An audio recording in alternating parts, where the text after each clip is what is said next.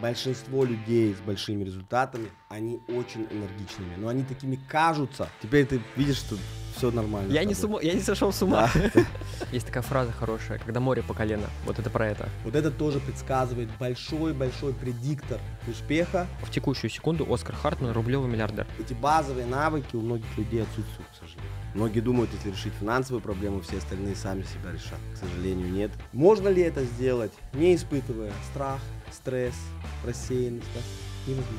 У нас сегодня на подкасте Оскар Хартман, серийный предприниматель, инвестор, топ-20 бизнес-ангелов мира, то есть он вкладывает большие деньги в большие компании, чтобы они стали еще больше. Общая капитализация его компании более 20 миллиардов долларов. Также Оскар многодетный отец, у него недавно родился четвертый ребенок, 20 лет в браке, человек, который поставил рекорд по гребле на 100 метров, это было все на стадионе, и про это гремели все соцсети. Человек, который пять лет назад, когда я читал эту книгу, а, отправил меня в путь работать, и это привело к каким-то классным результатам. Поэтому у нас уже случился этот подкаст, я приветствую, записываю в конце, получилось супер ценно про ключевые навыки, про выбор, про эго. Много было того, что я нигде от тебя не слышал, хотя я читаю, смотрю просто титанический объем того, что выходит с тобой.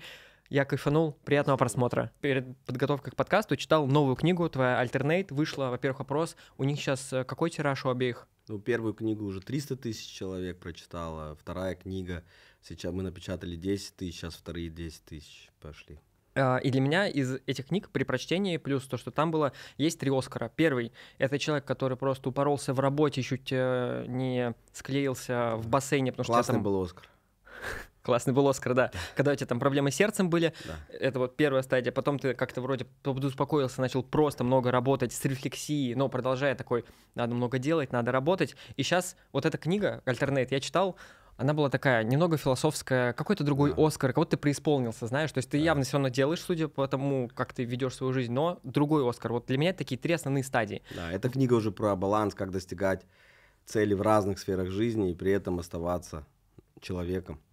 Вот, у меня вопрос. Что между ними произошло? Это какое-то одно событие тебя сильно изменило или просто это полно- полномерно было? Да не, всему свое время.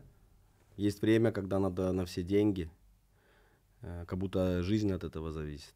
А потом есть другое время, когда нужно э, уметь чередовать разные состояния. Когда у тебя уже четверо детей, много крестных детей, много друзей, родственников и так далее. Ты уже много что решил уже финансовую проблему. Приходит время и другие проблемы решить. Финансовая проблема это далеко не единственная проблема, которую нужно решить. Многие думают, если решить финансовую проблему, все остальные сами себя решат. К сожалению, нет. Есть другие проблемы, проблемы отношений, проблемы здоровья. Поэтому Alternate это как раз ответ, потому что я не нашел ответов во всех книгах. Я читаю огромное количество книг.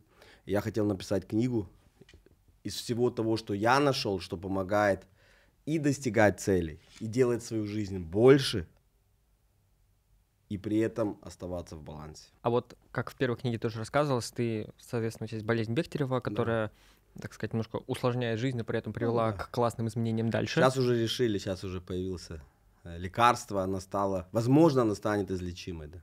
О, это... Да, это прорыв, да, кстати. Можно поздра- русские можно ученые. Ну да, да, можно поздравить. Еще не зна- ну, неизвестно, сейчас только начинают э, уже для людей делать, но Мгм. по ходу есть, да, существенно улучшается ситуация. И ты когда-то встретил человека, который тоже болел болезнью Бехтерева, но он отличался от всех других. То есть это такая прям а, точка, Да. которая на до и после разлила жизнь. Вот про него там много других интервью Да. говорят, а у тебя были еще такие вот события реально до-после, которые делили? Да, есть э, разговоры, которые меняют жизнь. Этот разговор может быть запланирован с человеком, с которым ты очень хочешь поговорить. Либо он может быть случайный. Я вот добивался очень долго встречу с Жак Антуан из Вон Приве в Париже. Я просто поехал туда, э, сел прямо у него в офис. Очень долго он отказывал, отказывал. Это в каком году было? Это было 2009 год, А, плюс-минус. ага. Да, 2009. И я прям приехал без спроса к нему, ждал, ожидал его. И в итоге он сказал, что он даст мне 10 минут, а проговорили мы там 3 часа. Эта встреча была очень важная. Очень важная. Она дала мне огромный толчок, потому что он показал мне все, как работает, и я мог потом это повторять. по-любому, когда, особенно когда мы ну, маленькие, важно иметь какого-то значимого взрослого, либо значимого человека, который находится там, куда ты хотел бы прийти. Конечно, самая быстрая стратегия – это найти правильную ролевую модель и повторять за ним очень быстро. Это намного-намного быстрее, чем попытаться разобраться во всем и потом делать. Уважаемые эксперты, блогеры и предприниматели, на этот канал я записываю подкасты с профессионалами своего дела и топами разных ниш. И сейчас как раз ищу таких людей, чтобы записывать больше полезных подкастов. Сначала я раскрываю вас в таком длинном формате подкастах, затем мы из этого делаем нарезки, публикуем их в YouTube Shorts себе на канал, также отправляю их вам, чтобы вы могли выложить себе на YouTube или в Reels. И там эти материалы набирают миллионы просмотров. Меня, кстати, зовут Алексей Голубев, я Reels YouTube продюсер, и это моя работа делать контент качественно. И если вы считаете, что ваши знания сделают мир лучше, и вы хотите записать подкаст, то напишите мне по ссылке в описании. Ты упомянул, что я брал и делал то, что мне говорили, раз, два, три, четыре, пять. Да. Это маркер человека, у которого нет раскачанного эго, короны на голове, гордыни.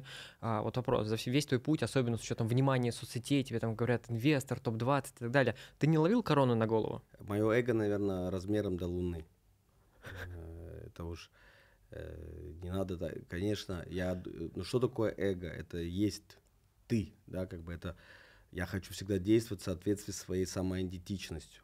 Ты не можешь иначе действовать, да, это у каждого человека есть. Если твое эго растворится, и тебя нет, да, сейчас, конечно, популярно там ругать эго, но в эго есть огромное количество положительных вещей. Если ты убираешь отрицательные, убираешь положительные тоже. Важно просто не попадать э, в ловушку, когда эго наносит тебе огромный вред. Да. Угу. Ну, что такое?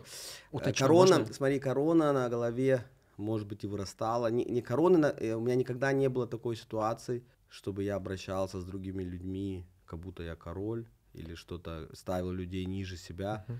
Давай уточню. Для я меня про... это непозволительно. Я про ситуацию, когда люди начинают думать, я сам все знаю, я сам все смогу, мне никто не нужен, как бы это, это мой результат, я дальше сам. И вот ценность тех людей, вселенная, которая помогала, удача, она отбрасывается, и не, человек забивает. Я, я про такое эго. Э, я думаю, что у меня был момент, когда у меня там все первые пять компаний, которые я сделал, все получились. И это было очень быстрое развитие. И в какой-то момент, я не думаю, что это это не было, я был, я просто столько работал, у меня не было времени думать про эго, да, просто я, я просто был э, сильно э, уверен, что я во всем разобрался. Все, я раскрыл формулу. Угу. Понимаешь, да? Как, угу. вот, образом, мне казалось, все, я, я, вот, я теперь знаю, как работает мир, что делать, как делать и как это работает. Угу. Ну, конечно, это вот, вот это полная уверенность, что ты разобрался, это всегда минута до того, как ты обычно получаешь жесткий отклик от мира, что нет, ты не во всем разобрался. Ну да, но я, я, я мне, мне кажется, это, это было не, э, не состояние там гордыни или что-то такое. Это было состояние сверх оптимизма, сверх веры в будущее. Это был момент, когда я думал и верил, что я могу поменять мир, я могу помочь людям, я смогу и это. Я, брал, я просто брался за любую проблему. Mm-hmm. Я могу и это решить проблему, и эту проблему могу решить, и эту проблему могу решить потому что у меня есть этот инструмент предпринимательства, строить новые организации. Я научился это сделать, и мне казалось, что все, теперь я могу и рак вылечить, и это вылечить, и, и потенциал человека раскрывать, и вот это, и вот это, и вот это. Есть такая фраза хорошая, когда море по колено, вот это про это. Поэтому я и стал основателем слишком многих компаний, слишком многих организаций, uh-huh. и да, это привело потом к самой нижней точке, которая, когда потом много из этого не сбывалось и не получалось и так далее. Э, да, было тяжело. Ну, да, но сейчас уже с эго, понимаешь, мне кажется, вот эго и вот эти вещи, они могут... Э, человек, который много делает, у него не может быть этой болезни. Потому что любой человек, который много делает, который деятельный, у него большинство вещей, которые он делает, не получается. Поэтому в основном э, предприниматели, серийные предприниматели, люди, которые строили большие организации, очень скромные они. Всегда говорят, я мало что знаю, там они вообще как бы, они получают очень много ударов. Э, вот они не могут быть такими, я вот только что был на юге Франции, там Монако, Сан-Тропе, и там очень много наследников, которые вот э, у них они вообще в жизни ни одного дня не работали. Вот получил он какое-то наследство, 5% какой-то гигантской компании, всю жизнь может жить абсолютно обеспечено, со слугами.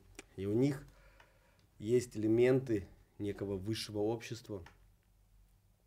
Они могут думать, что вот мы высшее общество и некое что-то, что стоит выше.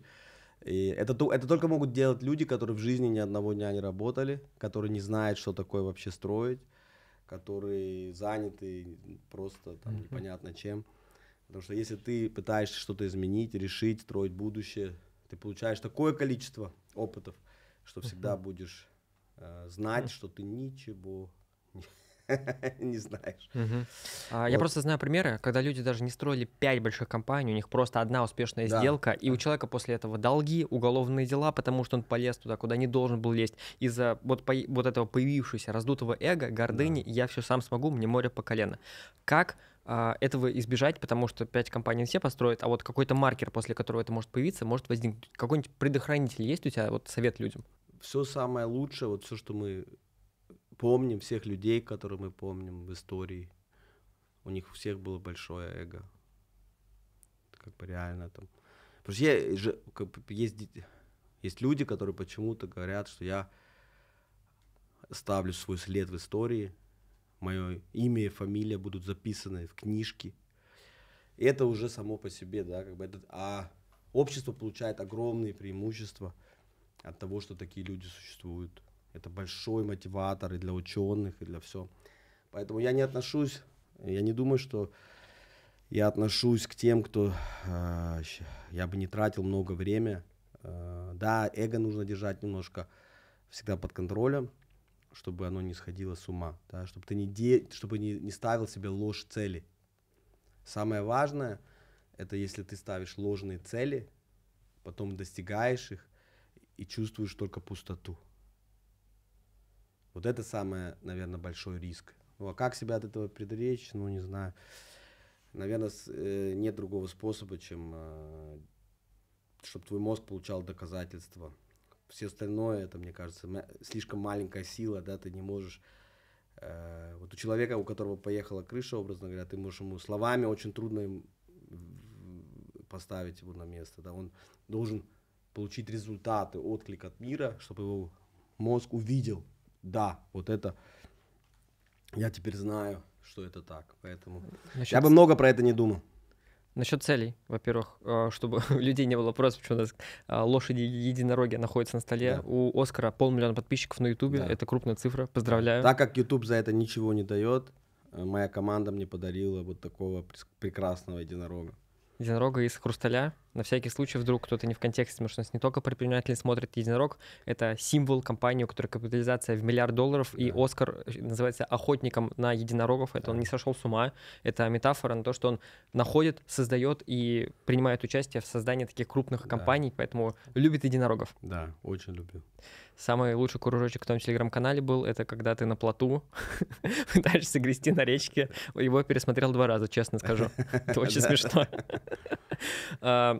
Окей, эго я понял. Ты не считаешь это такой прям кей-фактор, за которым нужно следить, но нужно быть поаккуратнее, потому что даже твоя жизнь доказывает, что иногда... Знаешь, я думаю, что даже наоборот. Э, намного больше проблема заниженной уверенности в себе, чем завышенной уверенности в себе. Да, соответственно, если ты спросишь меня, вот средний зритель, который нас смотрит, у него проблема не в эго. В его отсутствии. А проблема в том, что большинство людей делают себя намного хуже, чем они есть, обесценивают свои суперсилы, обесценивают свою зону гения, потому что думают, наверное, так все могут. А, вот просто массово люди считают, что они недостаточно хороши для того или иного якобы что-то зарезервировано для каких-то отдельно, отдельных людей, для какого-то высшего общества или элиты какой-то там, или для каких-то наследников э, непонятных людей.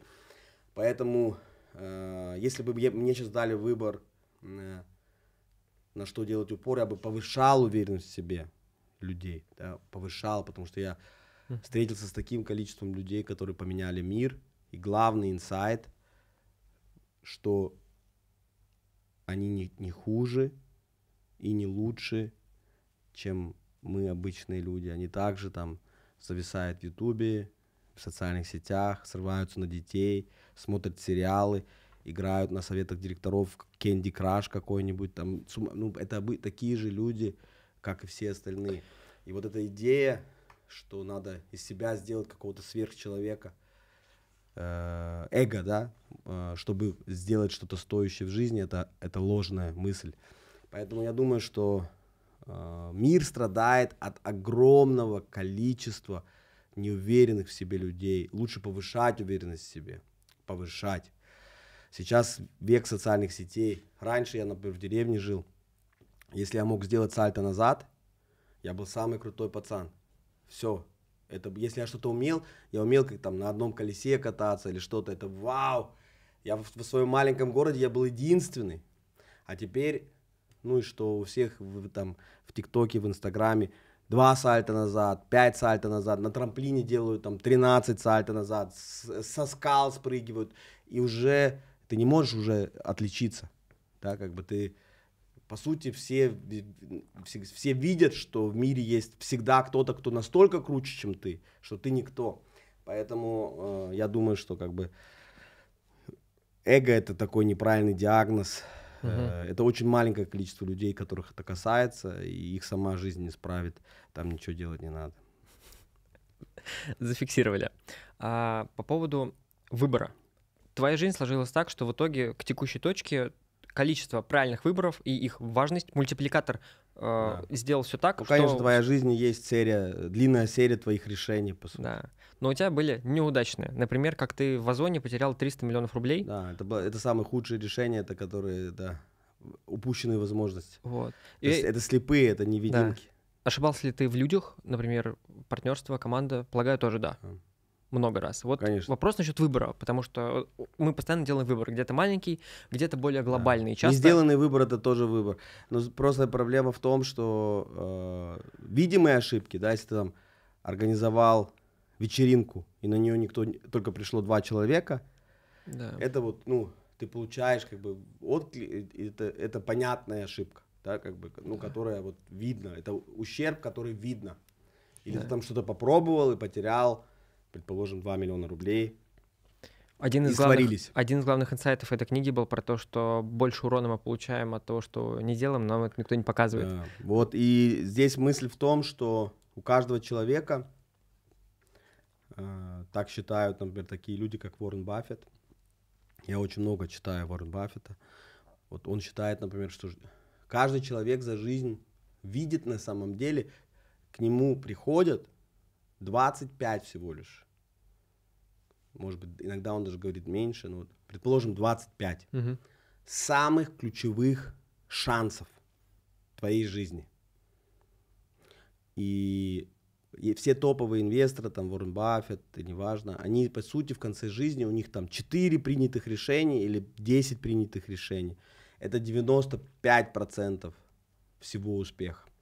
И не принятые решения, это упущенные возможности, стоят намного-намного дороже, чем вот эти ошибки. Да, соответственно, если мы представим себе человека и в конце твоей жизни ты получаешь всю правду про себя. Книжку со всей статистикой. Все. Вот сколько раз ты целовался, сколько людей тебя любили, как это вообще. Все, вся статистика про тебя, про твою жизнь. Сколько часов ты просидел в социальных сетях там, и так далее. А, и предположим, там написано, вот какие были самые большие возможности в твоей жизни, где ты мог действовать, которые ты пропустил. Да? И они вот, они приходят, уходят, приходят, уходят, приходят, уходят. И поэтому я всегда говорю, надо, я всегда хочу быть как героем в ожидании. Ты герой в ожидании, ты никогда не знаешь, когда эта возможность придет и, и как нужно активизироваться, когда она придет. Потому что мир складывается каким-то образом. И да, и вот эти, э, да, у меня, образно говоря, мои самые большие ошибки, вот я, у меня были э, вещи, где я терял миллионы долларов. Но это ничего по сравнению с тем, что я, например, недооценил Озон, что эта компания после 20 лет и длинный период стагнации может сделать вот такую хоккейную клюшку. Ну вот не думал я, что это возможно. А там было не 300 миллионов рублей. Это в долларах? Да, это Ага, долларах. да. 300 миллионов долларов. Э, Ну, не, не думал я, что один человек, новый генеральный директор, Да. сможет так видоизменить всю компанию, всю судьбу компании, все. Это было в моей голове невозможным. Что он тогда сделал? Я, у меня такой вопрос есть точно в списке. Что тут генеральный директор, не помню фамилию, сделал в Озоне? Александр, Саша. Наверное, ученые будут долго изучать и спорить о том, что было сделано. Но надо- первое, что он абсолютный работяга. Если ты ему напишешь сообщение в субботу в 21.30, ты получишь ответ в субботу в 21.30. Это человек, который э, очень много работает, и у него было четкое видение, четкое видение. Он когда пришел, Озон был в очень плачевном состоянии. Ну, прям совсем. Это там минус 20% и беда, отсутствие роста, все устаревшие системы. Ну, все было.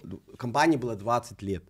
Она уже, ну, как бы, не За- смогла. Закат империи. Если ты за 20 лет не построил российский Амазон, Мгм. какая вероятность, что ты построишь российский Амазон? И он, э, первое, что он сделал, он посмотрел все, что делает Озон, что не делает Амазон, и это было закрыто.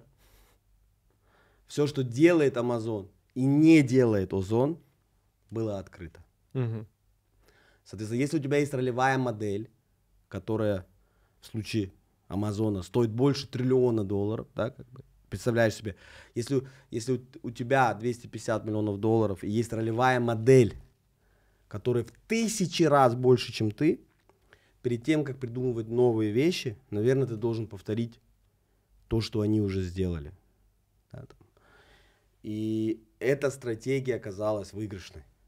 Потому что делая то, что делает Amazon, ты э, даже не зная, копируешь факторы успеха. Да, там вот у них есть определенные вещи, которые делают Amazon сильными. И вот это, на мой взгляд, это моя интерпретация, опять сейчас, моя интерпретация в том, что Озон начал наконец-то, вместо того, чтобы делать... До этого был генеральный директор, который из офлайн ритейла пришел. Он хотел больше делать вот какие-то интересные идеи из офлайна, э, меньше ассортимент, более правильно, какие-то вещи. Э, это вообще не работало. Вот Александр, это, это сила одного человека. Один человек может прийти и перевесить все остальные факторы. Вот это я, ну, в этот момент, в тот момент, когда я продал свои акции, я не думал, что это возможно. Ну, вот такая история, но вот образно говоря, у тебя, у меня есть ошибки на миллиарды долларов, Мгм. э, таких упущенных возможностей. Мгм. Есть только десятки миллионов долларов Мгм. ошибок. Ну, о- ошибки. Попробовал, проверил тезис, не сработало, получил результат отрицательный. И они не имеют значения. Они э, в, в том, что я делаю, в стро- построении будущего, Э, сколько раз ты промахнулся, не имеет значения. Мгм. То, что имеет значение, попал ты раз. Вот как в бейсболе хомран называется. Да? Если ты один раз попал, Мгм. это, это самое главное. Был у тебя хомран или нет. Мгм. Это определяющий фактор. А сколько раз ты мимо, это не имеет значения. Ты насчет э, продал миллиарды и так далее. Я нигде публично не видел фразы там «Оскар, долларовый миллионер, рублевый миллиардер». Да. И можно как-то вообще это Не, зафиксировать? ну, я уже много раз говорил, да, что я не долларовый миллиардер, да, я, э, у меня там колбасится между там 100 миллионов и 200 миллионов в зависимости от оценки акций. Э, если бы Мгм. сейчас вот все продать, э, я, вот сейчас на данный момент в рынке непонятно с такими высокими ставками, но это более-более сильно больше, чем достаточно для Ну, это все в активах и компаниях. Основная Да. масса. Да, естественно. Так вообще э, всех этих миллиардов долларов нет в принципе, да. Если взять Мгм. все богатство мира, оно там 60% лежит в недвижимости, это не в деньгах. Потом все публичные компании, все Мгм. частные компании, Мгм. долговые инструменты, кеш, золото, бриллианты, это Мгм. микроскопический процент Мгм. от мирового состояния. Но если ты сейчас продаешь все активы и выходишь в cash-out, можно зафиксировать, что в текущую секунду Оскар Хартман рублевый миллиардер. Мно- много раз. Хорошо. А по поводу вот этого кейса с Озоном. Вот если говорить про топ-менеджеров, которые заходят в какие-то проекты, им нужно на своих плечах вывозить комплекс на работу. Предприниматели, что ты видишь как ключевой фактор, без которого все, что остальное умеет или делает человек, обнуляет? Вот ключевой фактор для результата у собственников или предпринимателей. Есть что-то вот то, что он работяга? Или, может быть, еще что-то? Много работать – это точно лучше, чем мало работать. Является ли это определяющим фактором? Нет. Мгм. Гарантирует ли это тебе успех? Нет, не Мгм. гарантирует. Я думаю, что если вот перематываю вот сейчас все всех миллиардеров, которых я встретил, и даже не только миллиардеров, топовых спортсменов, топовых деятелей, людей, которые поменяли мир, я вот сейчас перематываю, и что у них общего? Главный фактор, а, у них ничего общего. Абсолютно бессмысленный вопрос найти, потому что за этим вопросом стоит желание найти что-то, что у них общее, и приделать это себе самому. Мгм. Изменить себя, чтобы повысить вероятность стать таким. Так. Это ложное мышление, А ло- в ложная мысль. Как я видел философию этой книги, что нет результатов людей, которые как снайперы пытаются шух, и что-то получилось. Только если они уже где-то наверху, но до этого все равно они много-много делали. Или же все-таки ты тогда встречал кейсы, Хорошо. где... с- Э, смотри, первое, что э, есть огромное количество людей, абсолютно разных, интроверты, экстраверты, люди, которые быстро решения принимают, люди, которые мега медленно решения принимают. Даже есть неэнергичные люди. Да, большинство людей с большими результатами, они очень энергичными, но они такими кажутся, потому что когда ты много делаешь, ты визуально кажешься больше энергичным, чем менее энергичным. Мгм. Но даже есть ленивые, кто спит очень много, 12 часов. Вот мы сейчас путешествовали вместе, там огромное количество топовых предпринимателей. Некоторые просто не могут по утрам вставать. Они не встают, они просыпают, они везде опаздывают. И они тоже успешные, тоже успешные. С таким вот моделем. Есть люди, которые живут life is кайф, есть люди, которые живут по календарю разные. Но у них есть что-то что-то общее. Они, во-первых, а, рано или поздно они поняли, что они, им самая выгодная позиция им быть самим собой. Потому что когда ты являешься самим собой, ты, нет ни одной роли, которую ты сможешь лучше играть и более мощно, чем самого себя. Соответственно, они перестали обесценивать свои суперсилы, свои с- разные у всех, да, и они играют на своих сильных сторонах. У них есть абсолютно разные сильные стороны. Вот я быстро решения принимаю. Но есть люди, которые не быстро решения принимают. Вот я сейчас был с предпринимателем в отпуске, он, мы должны были на вертолете полететь. Он шесть раз поменял решение. Лечу, не лечу. Нет, все-таки лечу, нет, все-таки не лечу. Все, а, нет, я лечу, нет, не лечу. Мгм. Потом я уже уехал в аэропорт, он говорит, все, я догоняю, я все-таки лечу. Приехал в аэропорт, говорит, скорее всего, не полечу. Это очень успешный человек. И это имеет право на жизнь. И это имеет право на жизнь. На самом деле, вещи, которые можно как догмат, вещи, которые можно вот прям поставить догматически, вот это точно убивает успех, Мгм. это очень маленькое количество вещей. Это вот если ты тотально не умеешь доверять лю- людям, если ты не умеешь общаться, там, действительно ты больной человек, у тебя ну, сверхнизкая энергия, Мгм. сверх мало мощности. Если ты не... Да, может быть, какие-то вещи могут быть, которые Мгм. сильно... Но мир процветает от многообразия, разнообразия. И бизнес-моделей такое количество разных, что и типов характера, личности, сильных сторон и так далее, такое же Мгм. многообразие. Поэтому мой аргумент в том, чтобы не пытаться делать при себя переделать, а пытаться узнать себя, найти свои, свою уникальную комбинацию и делать на нее ставку. Мгм. Вот это намного более... Вот это... И чем раньше ты это сделаешь, тем Мгм. лучше. А богатые люди, очень богатые люди, они вообще себе позволяют, они вообще уже не парятся. Ну вот просто им не надо ничем, никому больше ничего не доказывать. Они могут просто вот, э, они могут показаться, уста- я устал, пошел спать. Мгм. да, там. Им не надо, они не пытаются себя сделать лучше, чем они есть. Они вот Мгм. Они становятся вообще самим собой. Среди людей, которые работают в компании, есть те, которые вот где работают, пусть там работают, их не хочется поднимать, они сами не хотят, а есть те, которые растут по карьерной лестнице Да. просто как сорняки. Вторые, ну, предприниматели тоже, они вроде даже не просятся, но их хочется пристегнуть к себе и делать с ними какие-то проекты. Вот давай Да. сделаем какую-то декомпозицию, хотя бы вот крупными мазками. Хорошо, есть хорошие знаки, нужно? есть плохие знаки. да, давай, но- на- и на уровне скиллов, хард-скиллов, и на уровне софт-скиллов. Да. Окей, есть э, некие предикторы, да, которые вот есть человек, ты должен предсказать, э, какая у него вероятность, что он станет миллиардером. У этого человека. Ну, это факт. Да. Потому что если ты будешь рядом с ним, ты тоже хорошо заработаешь. Правильно? Да. Или не, не только там станет миллиардером, просто станет человеком, который решил большую проблему. Или поменял ход какой-то индустрии, там, сделал что-то системообразующее. Самый большой предиктор, если, эно- если этот человек уже это делал в прошлом.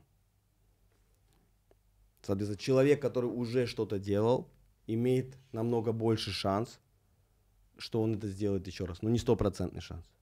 Даже если ты построил единорога, и ты делаешь следующую компанию, вероятность, что твоя следующая компания станет единорогом, не более 10%. Не более 10%. Но, естественно, нет ничего более ценного, если я смотрю на человека, мне нужно понять его логика его жизни. Какие у него были жизненные линии, какие там точки, какие пики, что этот человек уже... Человек, который уже один раз создал ценность, ты создал ценность, например, ты сделал 70 подкастов для мира, они сколько просмотров собрали Миллиона два, точно, три. Вот так. совокупно? Ну, просто у меня на ютубе же с шортами показывает Да. статистика. Ну, на глазок три. Хорошо. 3 миллиона. Ты создал некую ценность. Из этой, это ты создал ценность для мира, да? Соответственно, твоя вероятность, что ты в будущем тоже создашь ценность, она очень сильно выше теперь. Ты создал что-то для мира, что нужно. Мгм. Ты эту собрал комбинацию, вот совокупность. Вот я почему-то здесь сижу, вот единорог здесь. Ты это сделал. Поэтому очень важно, если ты хочешь, например, стать человеком, который имеет большой шанс что-то большое сделать, нужно постоянно создавать какие-то комбинации. Организовать какое-то мероприятие, организовать какую-то вещь, сделать какой-то продукт. Любой. Вот э, любой продукт. Вот это может быть цифровой продукт. Мгм. Сделать что-то своими руками, Мгм. что радует других людей. Если ты это сделал, теперь масштаб. Да, Сначала ты это сделаешь, что будет маленький масштаб. О, я организовал турнир по теннису, в котором участвовало 30 человек. Маленькая такая штука, ну ты это сделал, 30 человек пришли, участвовали, там был какой-то кубок, что-то там, появился какой-то спонсор, да. Ты организовал некую вещь. Все, твой мозг, самое главное. Самое главное даже не то, что мир про тебя думает. Самое главное то, что ты сам про себя думаешь. Твой, ты своему мозгу показал, что я взял, этого не было, я сделал, чтобы это было, и это то, что теперь есть, было нужно другим людям. Вау! Твой мозг уже делает вывод, я могу менять мир, я могу что-то создавать, это нужно людям, и мне это нравится. Мне это нравится, это кайф. Да? Если у тебя в голове вот эти нейронные связи есть, что ты не просто пассивный потребитель мира, ты не просто пассивный участник, а ты активный участник вот, и по всего, что происходит. Ты сначала это делаешь на маленьком масштабе, потом, окей, думаешь, ну если я это смог, что я еще смогу? Давай вот это, вот это. Потом постепенно, постепенно, может быть, в университете сделаешь какой-то, не знаю, межуниверситетскую олимпиаду, 5000 участников. Вау! Уже что-то, ты уже, ты, там ты уже начнешь получать признание, да, там девушки будут к тебе тянуться, ты как лидер и так далее, и так далее. И вот так постепенно, постепенно, рано или поздно к этому человеку приходит возможность. Вот это одна из этих 25. И она не просто проплывает мимо, как просто какая-то... Ну, возможности проплывают мимо людей, они думают, да, это возможность, но это не для меня. Ни один единорог из последних 15 лет не был создан аналитиком. Аналитики всю информацию имеют, все знают, они знают рынки, возможности, бенчмарки. А чего им не хватает? Ты должен рано или поздно смотреть на эти цифры и подумать, что я тот человек, который это сделает. А ты, если ты просто эти цифры смотришь, как просто сухое, непонятно, у тебя нет даже импульса вот этого, да? Соответственно, а люди, которые знают намного меньше, у которых намного меньше данных, они видят какую-то возможность, но их мозг говорит, о, я уже такую штуку один раз видел, я действовал, и там было кайф. Вот сейчас побольше штука, но может быть я опять смогу. И тогда эта э, возможность не проходит мимо тебя.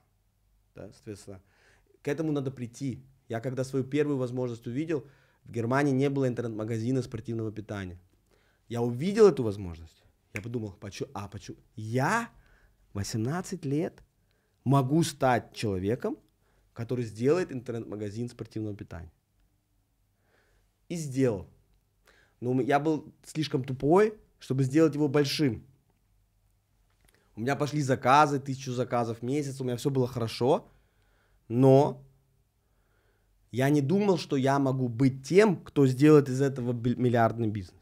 Поэтому 4 года после меня появилась компания MyProtein, которая в этом же рынке, с той же бизнес-моделью, все то же самое, построила даже не миллиардную компанию, а 10-миллиардную компанию. В какой-то момент The Hut Group, который принадлежит MyProtein, оценивалась в 10 миллиардов. Та же самая бизнес-модель. В чем разница? Основатель был Оливер. В чем разница Оливера и Оскара? Просто у Оливера до этого было уже несколько бизнесов побольше. И он подумал не только что, я что думал? О, у меня покупают. Классно. У меня покупают, я зарабатывал. Там чуть-чуть зарабатывал, но достаточно, чтобы там свои вещи делать.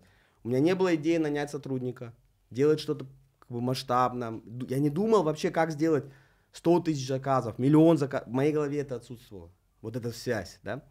Но у меня хотя бы была идея это сделать. Кучу других людей, у них вообще отсутствовал импульс что-то сделать. Приходит возможность. Вот сейчас, например, пришла возможность внутри Телеграма экосистемы появились мини-апы. Да, соответственно, теперь э, в, в рынках, где большой очень Telegram, можно, естественно, в, в Китае это уже так, там есть WeChat, внутри WeChat есть топ-100 приложений, которые можно посмотреть, какие топ-100 приложений внутри. И сейчас есть возможность внутри Телеграма делать вот эти мини-апы, это будут новые компании, которые используют новую дистрибуцию. Эта возможность проходит, вот я только что сказал, кто-то услышал. Она либо уходит, либо кто-то берется. Поэтому э, примерно так э, это происходит. Поэтому самый большой предиктор. Ты сделал что-то. И часто такая история. Вот у меня компания Flash and Post. Мы продали за миллиард евро. Основатель, Дитер. Первая компания. Интернет-магазин картриджи для принтеров. Выводит на 10 миллионов евро оборот, продает за 10 миллионов евро. Вторая компания. Интернет-магазин питание для животных. Доводит до 50 миллионов евро оборот, продает за 50 миллионов евро. Следующая компания. Flash and Post. Угу. 1 миллиард евро. Вот он до этого не брал, он до этого продавал компании за 10 миллионов, за 50 миллионов. 10-50 миллиард. Через три дня после продажи Flash and Post он опять открывает компанию. Уже с целью сделать что-то, что поменяет весь мир складской обработки. Он полностью автоматизированные, роботизированные склады. И он сразу на первый вход сразу вкладывается 150 миллионов евро в эту компанию, потому что это такой человек. Если такой человек, как Дитер, делает компанию, ему на старте дают 150 миллионов. И он терпит крах. Не получилось. Но вероятность, что получится, поэтому я тоже вложился вот четвертую компанию, была очень высокая. Поэтому если мы ну, как бы по предикторам говорим, самый большой, это как бы, я понимаю, что это звучит банально, самый большой предиктор, что у тебя что-то получится, что у тебя получалось раньше. Да? Релевантный опыт. Да, это даже не релевантный опыт, да, это даже, здесь может быть нерелевантный опыт. Ты, например, делаешь компанию, э, например, фармакомпанию uh-huh. или в биотехнологиях, до этого у тебя не было. Ну, косвенно опыта. релевантный. Да, косвенно. Релевантный опыт заключается в том, что ты вообще знаешь, что ты своими руками можешь что-то сделать. Мгм. Это самый большой предикатор. Нет ничего сильнее. Это с большим отрывом стоит. Да? Потому что туда входят уже все остальные. Если он уже сделал, значит, у него есть нужная совокупность навыков, чтобы Ну, подобное делать. Ну да, значит, навер- значит он мо- может организовать какую-то группу людей, добиться от того, чтобы Мгм. другие делали что-то для него. Если ты смог организовать турнир по теннису, что ты доказал? Ты смог с кем-то договориться о чем-то, сделать Мгм. так, соб- соблюдать календарь, чтобы какое-то событие в какой-то момент случилось. Ты мог вовлечь других, чтобы они участвовали. Продажи, маркетинг, да, организация, э, HR. Ты, по сути, на очень маленьком мероприятии доказал основные функции, которые тебе нужны. Но если дальше идти по, предик, по, по предикторам, и, э, естественно, образование огромный предиктор. да. Чем больше образования, тем лучше. Это факт просто. Это факт. Чем больше. Есть больше основателей единорогов, профессоров, чем тех, которые бросили университет. И чем более сложную полосу препятствий ты прошел, тем лучше. Если ты делал трудные вещи, это супер предиктор. Ты делал трудные вещи, ты решал сложные, комплексные проблемы. Поэтому я часто на, со- на собеседованиях задаю вопрос, какую самую большую проблему ты решал? Вот, например, какую самую большую проблему ты в своей жизни решил? Это врасплох вы так задаете или, или на, на анкетирование? Вот, например, так. Какая самая большая проблема, которую ты решил? Сейчас, давай, интересно. Либо не могу вспомнить, либо пока жизнь уберегла от больших проблем. Были, были сложные моменты, но у меня нет, знаешь, такого скачка, чтобы я вот себе сейчас сходу сказал. Ну, вот. я, к счастью, я не на собеседовании. Да, ты только что существенно снизил шансы, но э, э, я думаю, ты сейчас, тебе сейчас в голову придет, как мы будем сейчас дальше разговаривать, тебе придет в голову какая-то, потому что мы не должны облегчать себе жизнь, да, как бы. Иногда когда люди, люди спрашивают, для какое образование выбрать. Самое трудное, самое трудное. А, вспомнил. Ну, Давай. для меня очень сложно было с человека, который был неучим там до 9 класса, учился так Да. на тройке, за два с половиной года наработаться так, чтобы сдать все ЕГЭ под сто и поступить на мехмат МГУ на бюджет. Ну, то есть я Вот. просто два года отпахал как конь. Вот. Ты поступил, тебе, у тебя была задача поступить на бюджет. Да, В какой университет? мехмат МГУ. Это очень сложно. Это было Это большая сложно. проблема. Большая проблема. Да. При этом ты отставал. У тебя, ты, у тебя были отстающие знания. Да? Классно, классно, классно. Как ты эту проблему решил?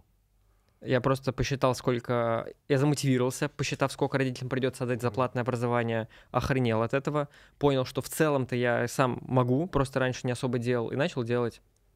И просто два года очень много учился. У меня по русскому языку первые пять оценок были в 10 классе, пять двоек. Я вообще был безграмотный. ЕГЭ сдал на 100. Говорится, У человека есть свобода воли. Классно. Э, Вот чем больше ты таких вещей делаешь трудных, поступить по бюджету вот в этот э, университет было трудно.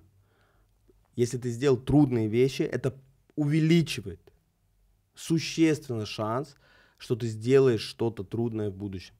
Построить успешную компанию трудно. Да?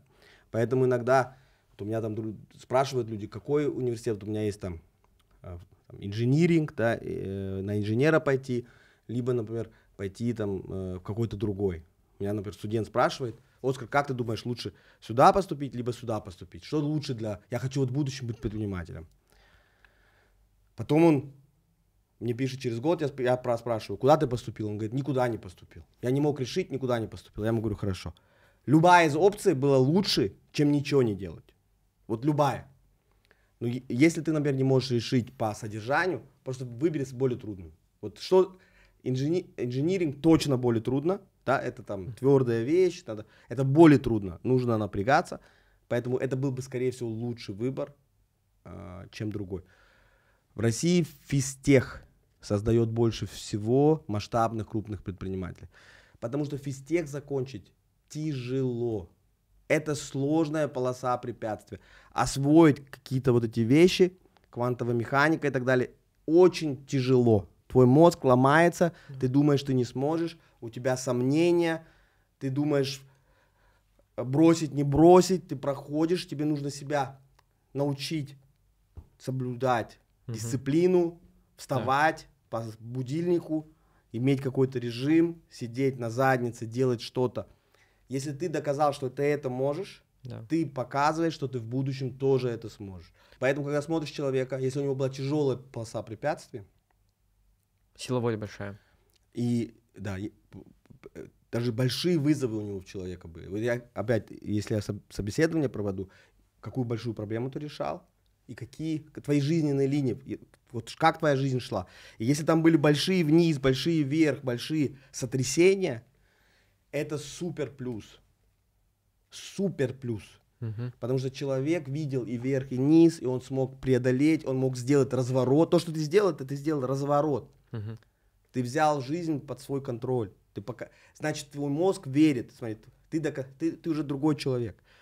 Ты уже веришь в глубине души своей, что человек может меняться. А есть люди, которые говорят, человек не может меняться. Выросло, что выросло. Понимаешь? А ты веришь, ты веришь, это так называемый growth mindset, это ты говоришь, что, что если ты куда-то прикладываешь усилия, ты в этом направлении растешь. Соответственно, есть вот это тоже предсказывает большой-большой предиктор успеха. Это такой называемый настрой ума на рост, что ты веришь в свободу воли, что ты можешь принять решение, изменить свою жизнь, ты можешь принять решение изменить мир, и что это под твоим контролем. Ты будешь удивлен, сколько людей в мире живет, у которых этой идеи нет. У них этой идеи нет. Они думают, что все это детерминизм, все, у кого у кого-то есть, это все наследство, все, что с тобой случается, это просто Судьба предрешена. Да, судьба предрешена. Детерминизм это очень вредное мышление, даже если это так, вредно так мыслить. Даже если это так, вредно так мыслить. Поэтому вот, э, э, вот, вот эти э, полосы препятствий иногда создаются искусственно. Да, есть Мгм. там, чтобы поступить в Гарвард или где-нибудь, или если ко мне на программу поступить, очень трудно поступить. Большая пол- полоса препятствий. Для того, чтобы проверить, может человек вообще проходить полосы препятствий или нет. Мгм. Есть люди, которые не могут пройти самые базовые, там, потому что требуются базовые навыки. Поставить что-то в календарь, следить за календарем, когда приходит время сделать это действие. Эти базовые навыки у многих людей отсутствуют, к сожалению. да, Мгм. там. А чем лучше они у тебя есть, э, тем лучше.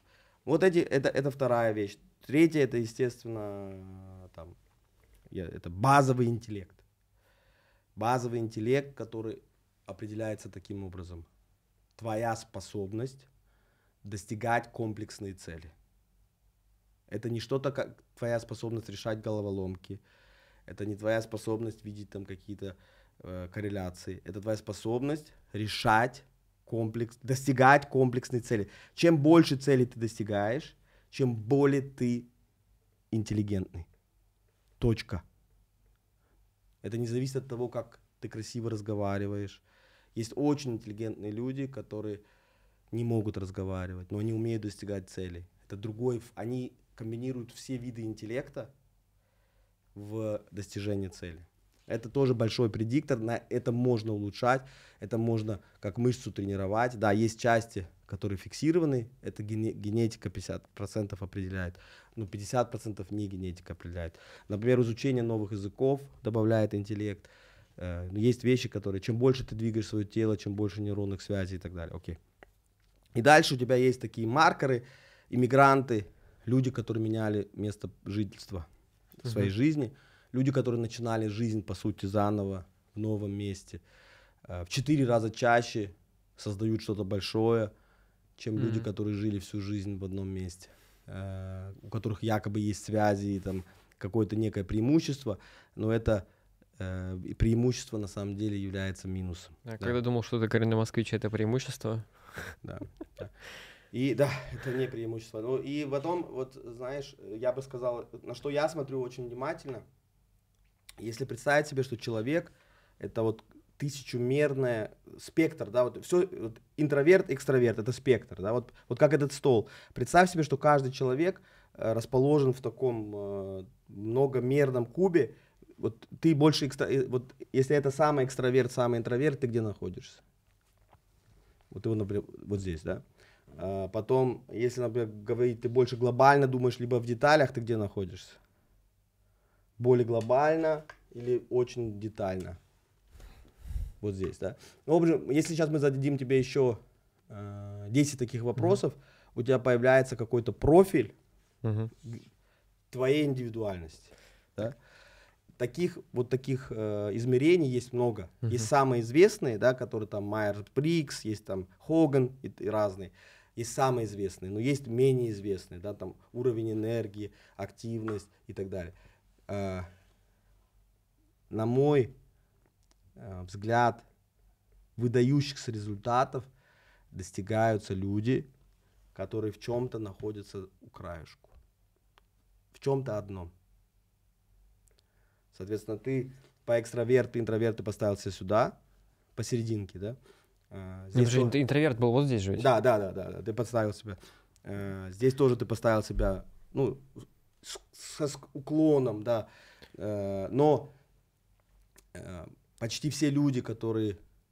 э, Да. почти- нормальные люди, они все находятся здесь. На уровне энергии я поставил себя вот здесь. Да, хорошо, да, там может быть... э, но еще раз, в основном Ага. единорогов строят люди ненормальные.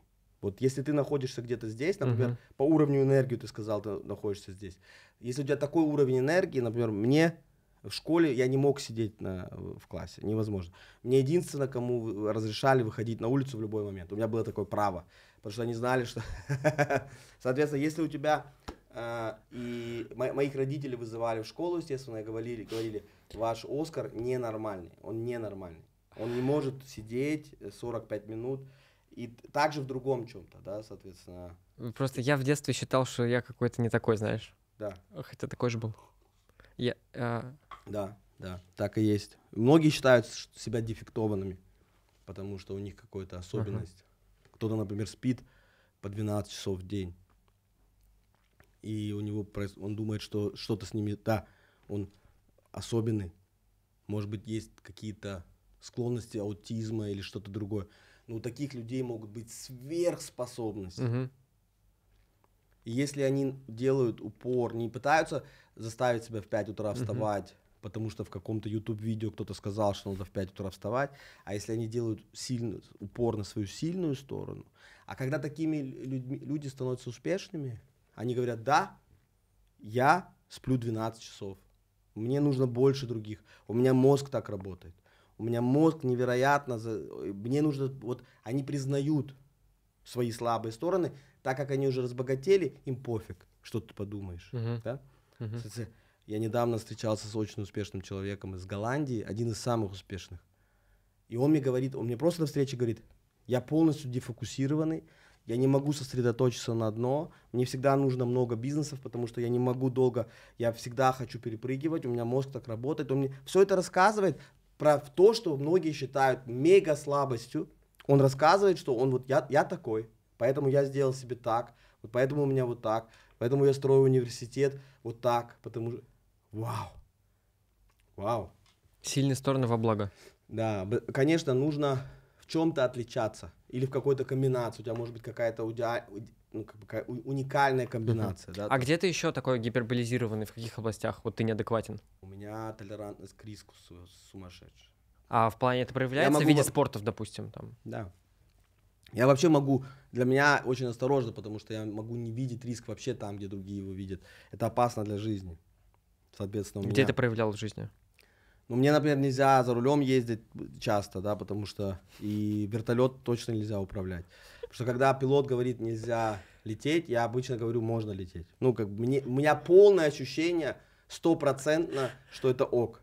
Ну, как бы, когда я с пилотами летаю, я всегда говорю, сделай это, он говорит, нет. Э, Я говорю, почему? Это, это- ну, мой мозг считает, что это ок, да? Да, поэтому, смешно. да. Да сядем мы на эту елку, что ты? Да, конечно. Не, это я, ей было много ситуаций в жизни, где я мог погибнуть. Много Например? Ну, ну, это просто это риск. Я брал риски неадекватные, да, да, даже когда на сноуборде Да. катаюсь и так далее. Мне нужно себя самого от этого защищать, потому что это неправильно. Да. Мгм. Это, во-первых, э, ну, это может иметь разные причины. Это может быть, например, атрофированное чувство Мгм. боли. Если ты не чувствуешь боль так сильно, как другие, ты в детстве не, не получаешь боль, ты не так э, сильно боишься вещей. Я, например, очень э, на деревья лазил, не боялся падать, потому что ну, другие дети сильно боялись, да, я не, у меня не было вот этого страха, да, и вот я все детство на деревья лазил, как сумасшедший, чем выше, тем лучше, чем выше, тем лучше. Это было для родителей это было очень страшно. Ну, потому что я- как только они меня оставляли одного, я сразу куда-то залезал, очень высоко. И на последней ветке вот так шатался. Поэтому, например, когда в бизнесе, когда я, например, преследую, э, когда я говорю да, давай это делать, эм, я, мне всегда кажется, что это точно получится. Мгм. Когда другие говорят, подожди, ну это же вот это, здесь культуры нет такого, вот это здесь, это же вот здесь ты столкнешься с таким сопротивлением. Есть люди, у которых могут мне сразу назвать пять причин, почему это не сработает. У меня первое, что я вижу, это пять причин, почему это сработает. И мне вообще не кажется, вот мне почему-то э, не кажется таким страшным. э, ну вот брать какую делать какую-то комбинацию, в которой есть почти стопроцентная гарантия, что это не получится. Но есть маленький-маленький шанс, что это получится. Для меня это ок. Я при этом чувствую себя хорошо. Да, Соответственно, в ситуациях, где другие люди страдают сильно, например, когда большая неопределенность, ты просто не знаешь. Мгм. И чем больше ты людей спрашиваешь, тем меньше ты знаешь. Например, конкретный пример, искусственный интеллект. Представь себе, что ты сейчас строишь какую-то компанию в искусственном интеллекте. Во-первых, у тебя конкурентов глобально. Например, Ты делаешь, например, копилота для юристов. Мгм. Ну, чтобы был искусственный интеллект, который юристам пома- по- помогает стать. В мире сейчас 200 команд, которые делают копилотов для юристов. Плюс крупные компании, Microsoft, OpenAI и так далее, Мгм. делают похожие вещи, которые тоже эту проблему решат. Есть некая вероятность, что появится AGI, который вообще эту проблему, тогда твоя компания вообще не нужна будет. И ты входишь, ты, ты входишь в эту тему полной неопределенности. Что будет искусственный интеллект уметь через 5 лет? Мы знаем. Ты можешь сейчас прослушать всех, там, от Сэма Алтмана до Элон Маска, Мгм. до Сергей Брин, все, кто занимается, и они тебе скажут, мы не знаем. Есть огромная развилка, может быть вот так, может быть вот так, и 1500 других версий.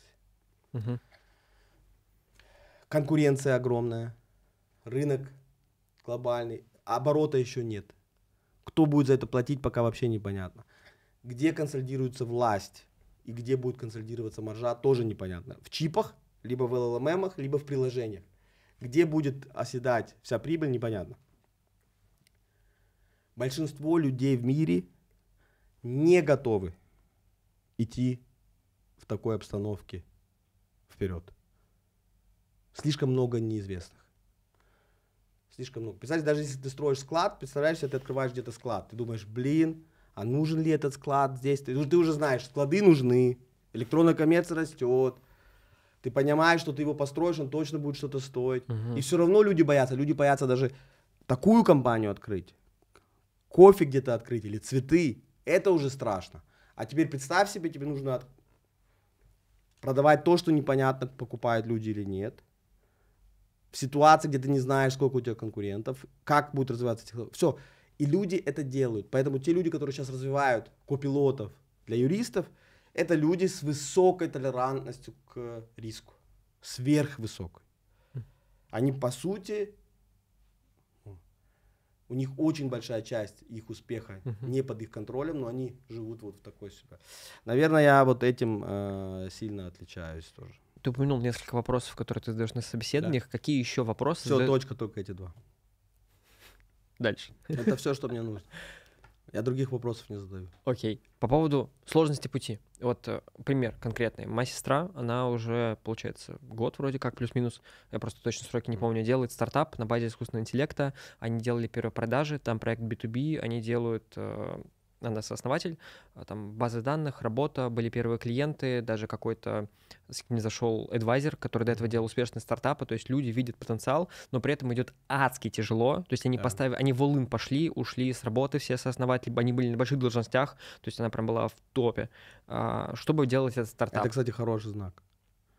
Вот, Твоя она... молодец. Если человек с большой зарплатой, с большой позиции ушел в стартап, это большой плюс. Но идет адски тяжело, хотя были вроде первой продажи, там в том числе сложности, потому что они из России, а идет э, работа на зарубежный рынок и так далее. Да. И вот э, ты даже э, говорил в книге, я вот что выделял, нашел такую цитату, подчеркивал, что когда нужно делать идет выбор... нормально, идет не адски тяжело, идет просто нормально.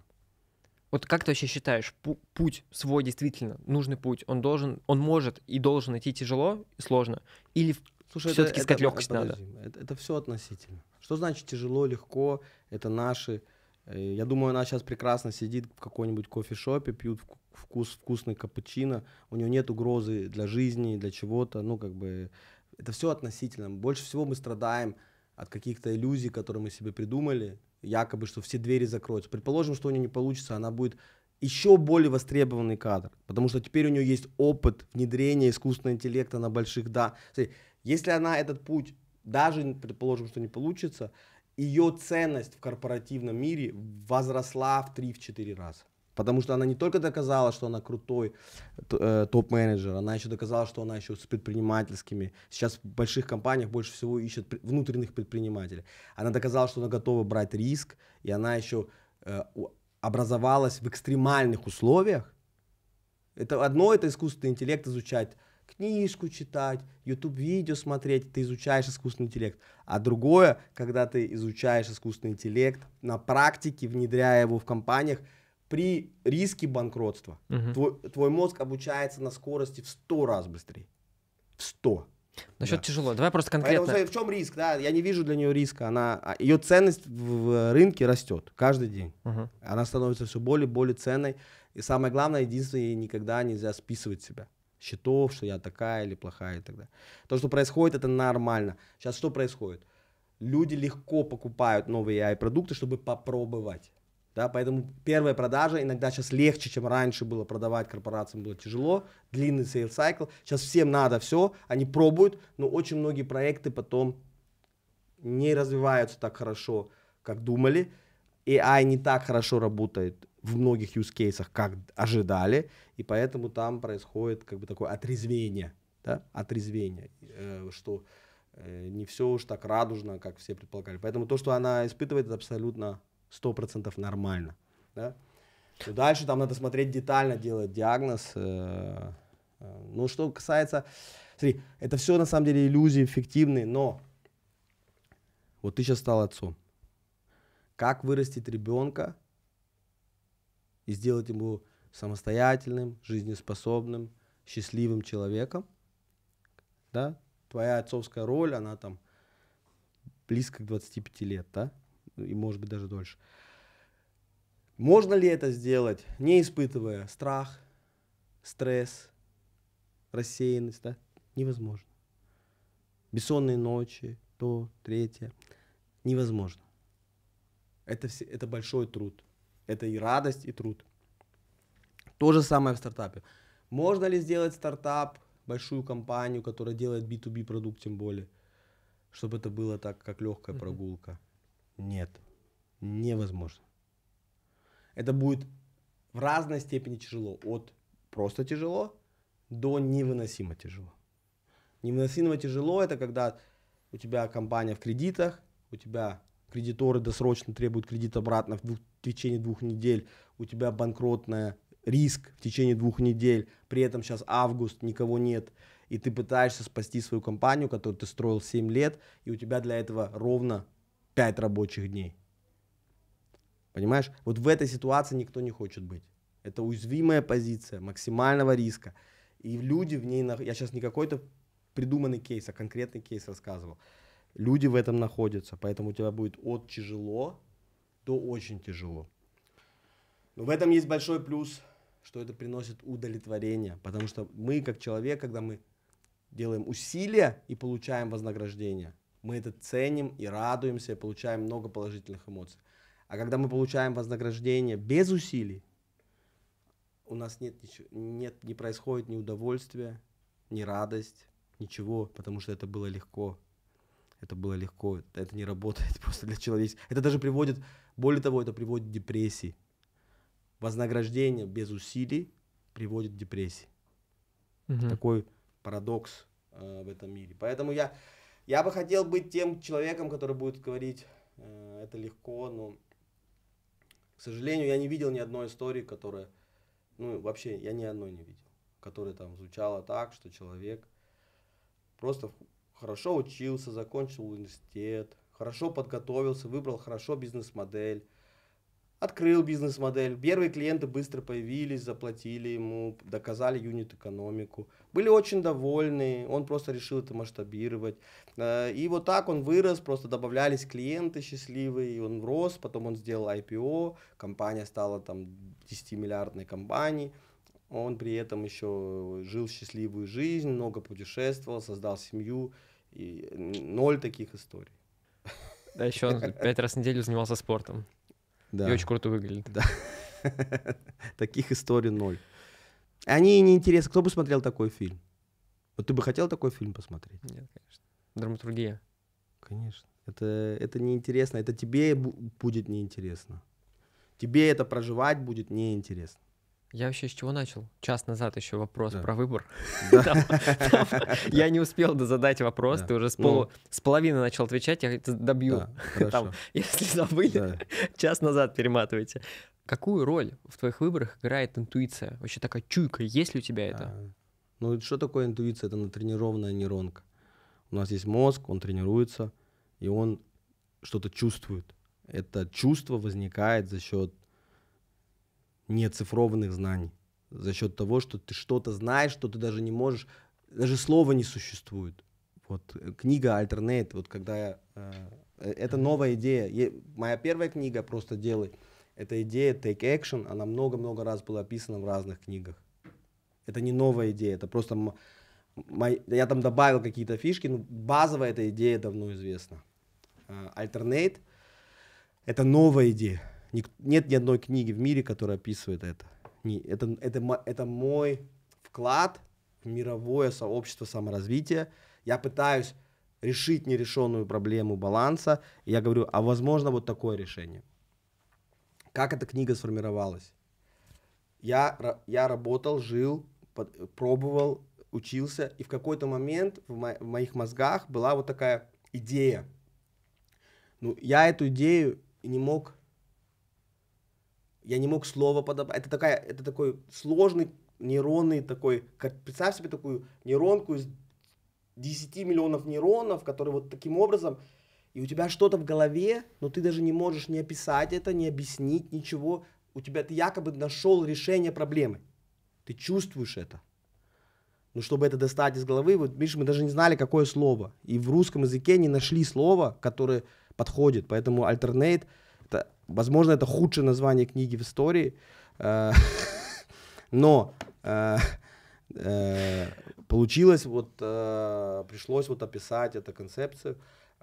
Вот так, так рождается интуиция. Да? Интуиция — это когда ты встречаешься с человеком, у тебя рождается чувство, что да, надо делать, но это я бы интуиции не доверял в твоем возрасте. В твоем возрасте твою интуицию очень легко обмануть.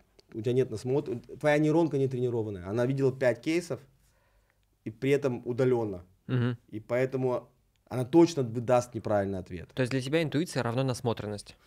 А, интуиция это равно насмотренность плюс наш мозг. Мы же не знаем, как работает человеческий мозг. Мгм. Вот этот next token prediction, который искусственный интеллект использует, это один из механизмов, который у нас есть, но у нас есть другие механизмы. Соответственно, это, не, это насмотренность плюс твой мозг учится, учится, и он знает что-то, что ты, о чем ты даже не знаешь. Он знает. Это может быть ошибочное знание.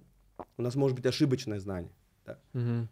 Вот э, моему другу во Франкфурте, он шел по франкфуртскому вокзалу, там бежал э, чернокожий мальчик и бежал в сторону него, достал ножик, засунул ему ножик в ногу, посмеялся и убежал. Вот такой случай был в этом мире. Теперь нейронка моего друга обучилась. Она, она возможно, теперь интуитивно, когда у него на, собесед... на собеседовании будет чернокожий собеседник, возможно, его интуиция будет ему говорить, «Э-э, не надо. Это будет ошибочный вывод, потому что его на, на основе одного очень яркого случая Мгм. его нейронка могла сделать вывод, что этот цвет кожи, он неадекватный там и так что далее. Поэтому тебе нужно а, обучать свою нейронку очень внимательно. Да? Соответственно, ты должен супер внимательно относиться к тому, что ты пускаешь в свой мозг. Мгм. Лучше всего в свой мозг пускать как можно больше реальности. Мгм. Да, вот насто- тогда, твой, тогда у тебя будет точное мышление, твоя карта мира совпадает с территорией.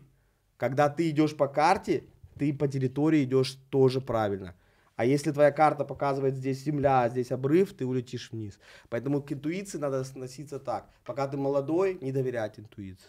Ставить под сомнение все, что ты там, сто искажений твоего мозга, да, тебе кажется, вот почти все дети начинают акциями заниматься, и они начинают трейдингом заниматься.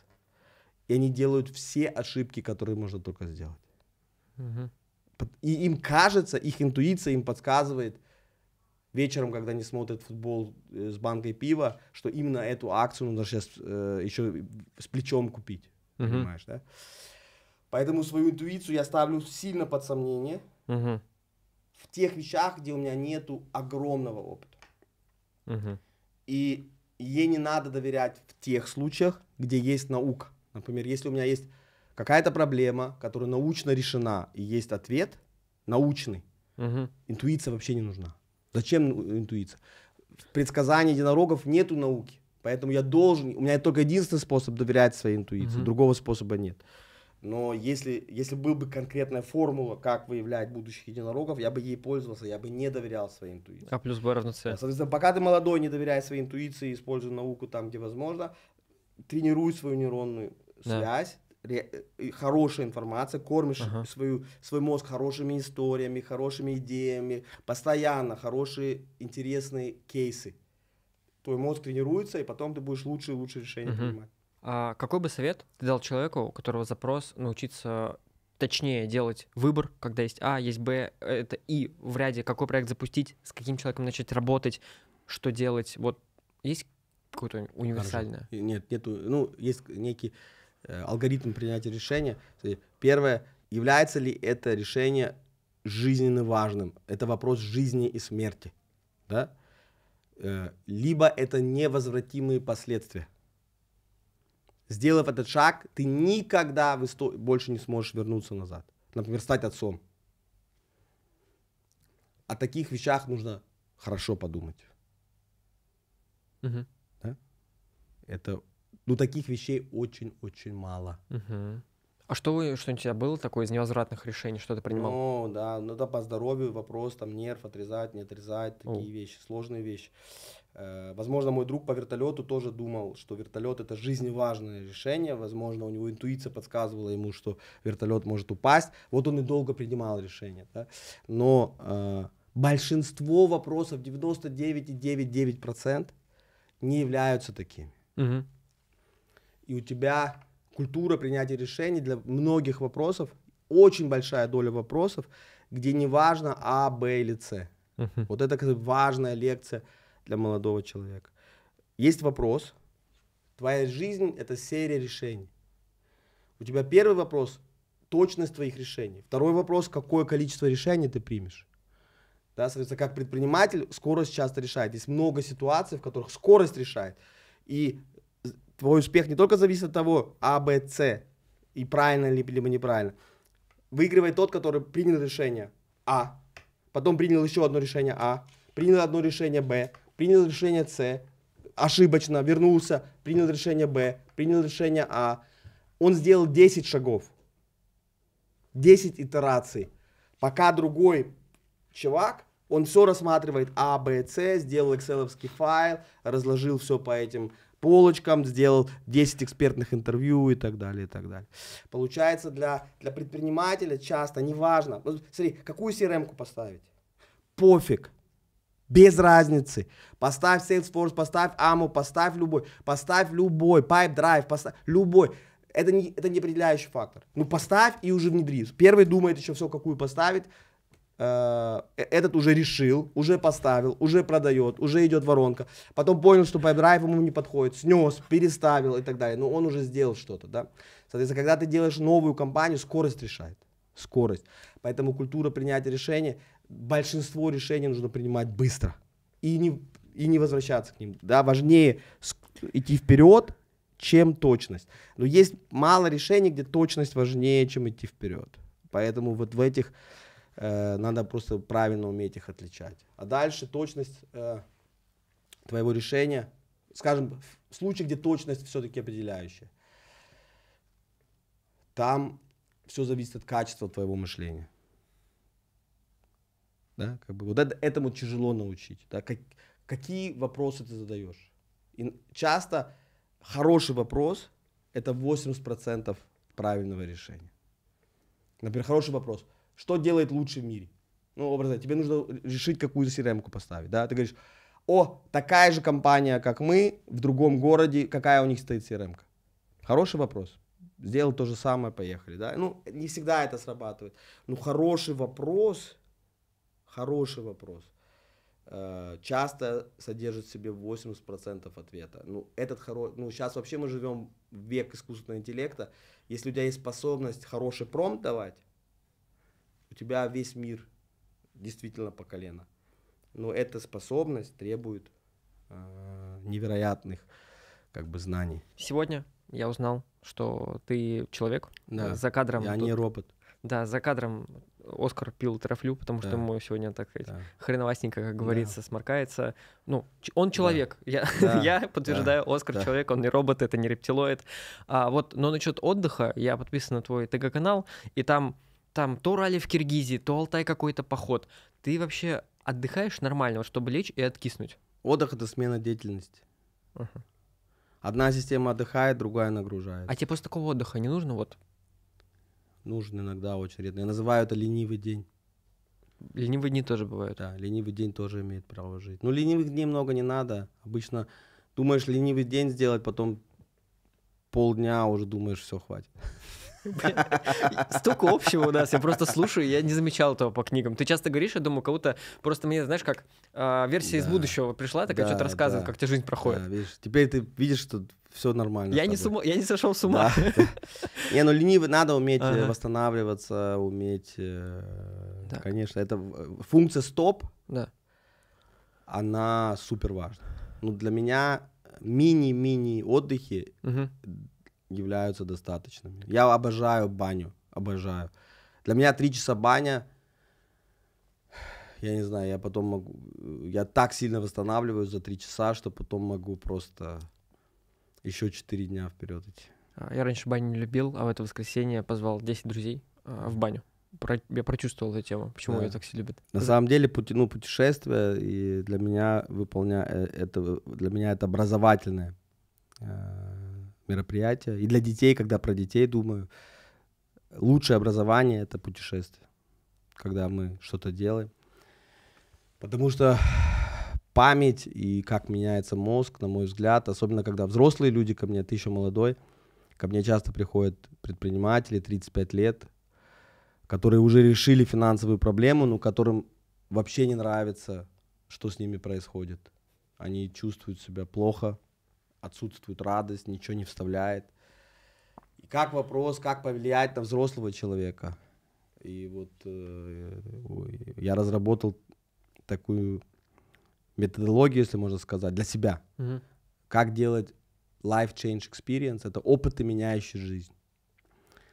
Вот когда я про себя думаю, вот какая-то идея есть, да, вот, например, просто дело есть идея, да. Uh-huh. Ты, э, чтобы освоить эту идею, ну, есть идея такая, она за, за 6 тысяч лет мыслителей, идея о том, что действия являются главным слоем жизни, твоего взаим... она много где описана, да, у Энтони Робинса там Take Massive Action, у Джим Роуна, у Наполеон Хилла, у них у всех была эта идея. Одна и та же идея. Она повторяется из раза в раз в раз. Ты можешь эту идею прочитать в Instagram feed, feed. Ты там утром открыл и прочитал идею. О, ну там, рано или поздно ты либо сделал, либо не сделал, да? Это первый уровень воздействия. Как, какая вероятность, что это изменит твою жизнь? Нулевой. Ноль. Возможно, даже отрицательно, потому что следующий пост будет написано 7 раз отмерь, один раз отрежь. Противоречащий. И таким образом у тебя фрагментально твой мозг не может сложить никакую картинку. А, более сильный уровень воздействия. Ты посмотрел вот это видео в Ютубе, это более сильное воздействие. Ты посмотрел часовое интервью, в котором была одна из мыслей, что действия определяют все. Да, там. Более сильное воздействие, и вероятность чуть-чуть выросла. А что ты закрыл видео, вернулся в свой мир, в свою карту мира, где у тебя те же самые друзья, родители, все то же самое, и твоя жизнь прошла ровно так же дальше, как до этого. Есть более сильный метод воздействия на себя. Следующий уровень. Прочитать книгу. Книга — это диалог с автором 6 часов. Вот эту книгу читают в среднем за 6 часов. Ты берешь, и ты 6 часов с Оскаром на, в диалоге. Это диалог между читателем и писателем. Да, соответственно, вот 6 часов ты думаешь, что-то подчеркиваешь, где-то делаешь, у тебя есть, да, там какие-то, вот, да, вот ты вот что-то там. Э, в жизни есть время, когда можно заниматься самопожертвованием, работать 24. Вот из всего, что я там написал, э, подчеркнул это. Э, хорошо, это следующий уровень воздействия. Э, но это тоже книга сильнее, намного сильнее, э, но это тоже слабо. Потому что мы за, за жизнь прочитаем сотни книг, а сделаем, внедрим очень мало из этих знаний. Следующий уровень воздействия на самого себя. Да? Обычно мы учимся, человек реально учится часто через боль. Вот по, где настоящему, по-настоящему человек учится? Например, э, ты рос в одном дворе с, с каким-то другом Андрей. У него папа алкоголик, у тебя папа алкоголик. Все работают на один завод, выросли вместе. Да? Выросли вместе. Все делали вместе. В какой-то момент жизни была какая-то возможность. Андрей захватился, сделал. Ты посчитал, что это слишком опасно, и пошел работать курьером доставки. Теперь прошло 10 лет, Андрей делает IPO своей компании на бирже. Компания стоит 100 миллиардов рублей. И ты увидел своими глазами, ты стал свидетелем. Ты стал свидетелем жизненной истории, когда человек просто сделал, и у него это получилось. Это воздействие в 10 может быть, даже в 20-30 раз сильнее, чем прочитать книгу.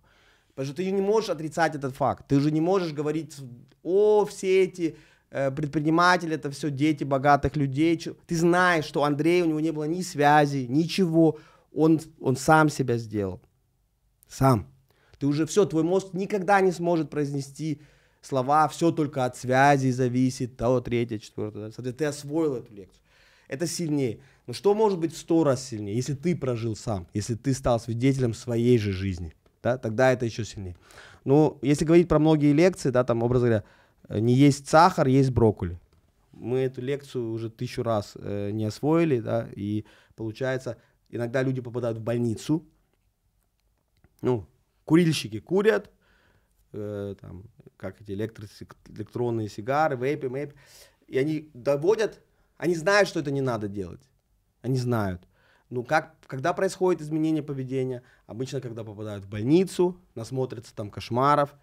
Это пиковый опыт, который меняет жизнь. И они такие, чик, понял. Боль. Твой мозг говорит, понял. Все. Новая нейронная связь, новое поведение. И мой как бы вопрос, который я себе задавал, можно ли иметь такого же, такой же силы образовательные опыты не через боль, а через что-то положительное. Возможно ли это вообще? Можно ли взять идею не надо курить вейп, и занести ее в мозг человека без боли, не через больницу, а через положительный опыт.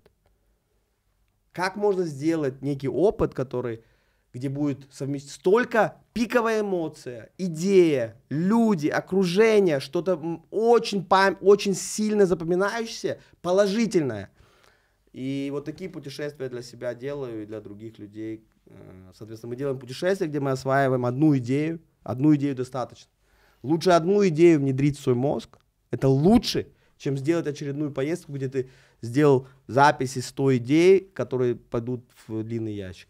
Вот это как раз основа Хартман Fellowships и вот этих ретритов, которые мы делаем, и все, что мы делаем. Уважаемые зрители, подписывайтесь обязательно на этот YouTube-канал, а также на мой Telegram-канал. Там я показываю свой путь предпринимателя, как развиваю проекты, как внедряю новые привычки, как экспериментирую с питанием, а также как воспитываю дочку. Для этого сканируйте QR-код, который сейчас появится на экране, или переходите по ссылке в описании. На этом моменте я хочу перейти к Блицу. Я давай, задаю вопросы давай. коротко, ты отвечаешь желательно тоже коротко. Это я не умею. Но да, я тоже понял, что это очень конечно... Да, вот я тоже а... по спектру самых длинных ответов, я тоже где-то с краешку. Да, так, Блиц. Есть любимая цитата, своя или чужая, которая вот легко вспоминается, и ты бы ее сейчас озвучил? Ну, просто делай, делай просто альтернейт. Зафиксировали. Лучше сделать и жалеть, да. чем... От тебя особенно сейчас будет интересно услышать ответ, потому что, как ты сказал, ты как нижний червь начитанный. Кстати, Миша Гребенюк где-то тоже говорил, что вот я много читаю, а Оскар Хартман, вот он просто титан чтения да. по количеству объемов три лучших универсальных книжки по бизнесу, саморазвитию, которые тебя сформировали, и вот, ну, топ-3 нужно озвучить, чтобы большинству зрителей подошло. Прости, но надо. Я часто говорил, как привести дела в порядок, getting things done, да. Просто взять и внедрить и делать. Алан, Точка. Да. Да, точка. Раб... Либо какую-либо другую систему. Внедрить любую систему по управлению задачами, чтобы это была система, любая. Угу. Ну, вот я, например, использую эту. Мне кажется, э, очень круто про стоиков, Марка Аурелии, медитации. Вообще вся эта философия, ну, однозначно Аристотелес, да, греческая философия, риторика, например, ну, если ты про публичные выступления, например, возможно, да, вот, э, Наполеон Хилл, Думай. первые его книги, которые я считаю, это такие обязательные книги для прочтения. Джим Рон мне очень нравится. Но мне, я, опять, я, наверное, у меня тысячи э, про, прочитанных книг, поэтому... Понимаю. Я, я думаю, самая лучшая книга — это та, которая тебе поможет сделать то, что ты сейчас делаешь лучше. Если ты сейчас откроешь мой телефон, мои последние после прочитанные книги, это будет все, чем я занимался. Вот ты посмотришь, угу. что читал Оскар в последние два месяца. Поймешь, чем он живет. Да, ты поймешь, что я делал. Ты поймешь, что я делал, угу. да? Вот я читаю то, что я делаю. Следующий вопрос. Хороший фильм, чтобы отдохнуть вечером после работы. Ну, вот есть все эти фильмы про предпринимателей, они, пока еще никто не научился снимать, но все равно хорошие. Что любимое? Ну вот про WeWork этот сериал сняли, We классно. Да, WeCrashed хороший. Там, возможно, про Amazon mm опять плохо сняли. Опять плохо ну, ну, потому что не могут снять, не могут показать кайф предпринимателя. Ну, самый мой любимый фильм всей истории это Форест Гамп. Ага. Я, я не знаю, сколько раз его смотрел. Очень много раз. Сильный фильм. А, смотри, вот следующий вопрос. Сейчас можно будет распыляться да. на, час. Да. Но нужно там пару имен. В чем суть? Самые сильные контакты в твоей телефонной книге, чтобы мы удивились, что вы знакомы. Можно без имен, регалии, достижения людей. Я уверен, там сотни людей, которыми ты бы удивил, но вот парочку выбери. Про кого можешь сказать, что реально удивительные контакты? Президент, может, э, да, чей-нибудь? Да, конечно. Я, я встречаюсь с президентами, и мне даже помогали президенты. Когда я начинал, Каких стран? Когда я начинал заниматься э, филантропической деятельностью, мне помогал президент Армении. Uh-huh. Э, соответственно, он, потому что он много общественной деятельности делал, и он мне подсказывал, как, что имеет смысл делать, что нет. Э, вот с Чопрой я встретился э, недавно тоже. Э, ну, много. Со, со своими героями я встречался, Арнольд Шварценеггер и так далее. Ну, это серьезный список, меня его еще не называли. Ну, вот на, за прошлую неделю встретился с самым богатым человеком Киргизии. С кем еще? Да это достаточно. Ну. Это ты уже перебил большинство. Не, ну, э, знаешь, это не, это не самое важное. Я вот пытаюсь подумать, что Ага. действительно, что действительно важно, ам, что действительно важно. Я думаю, сейчас вот век интернета, конечно, без, без- бе- безусловно. э, хорошо, неделю назад в горах, где-то в Узбекистане, на высоте 3200 метров, где в округе было 200 километров, ноль людей. Мы были в озере, очень классное озеро нашли, ледяное. А, И там был Леонид Богуславский, один из самых успешных инвесторов глобальных вообще в мире. Да? Артем Соколов, который сейчас открыл тысячи магазинов. Соколов Jewelry. Да. Михаил Кучпент и я, и мы там купались в этом озере, э, плавали, вот, и это было очень классно. Круто. Это- На этом моменте я буду уже заканчивать. А, Да, Я невероятно спасибо, благодарен, спасибо что ты пришел прям от души. Да, спасибо большое. тебе большое. Уважаемые зрители, на этом Молодец. моменте спасибо. Чтобы у вас сохранились а, выводы, озарения с этого подкаста, они не просто растворились, как это бывает, то обязательно сейчас в комментариях Да. поделитесь, что вас тронуло, можно коротко, можно развернуто, что будете внедрять в жизнь, что для вас было ключевым, потому что иначе, опять же, человек запоминает только Да. 5% от того, что просто услышит. Да. Прямо сейчас запишите. И Возможно, если мне понравится комментарий, кто-то получит вот подарок от Оскара. Э, Если мне прям очень понравится. Да. На этом все. Все ссылки на меня, на Оскара, они в описании. да. Это был Да, отличный Брофист. подкаст.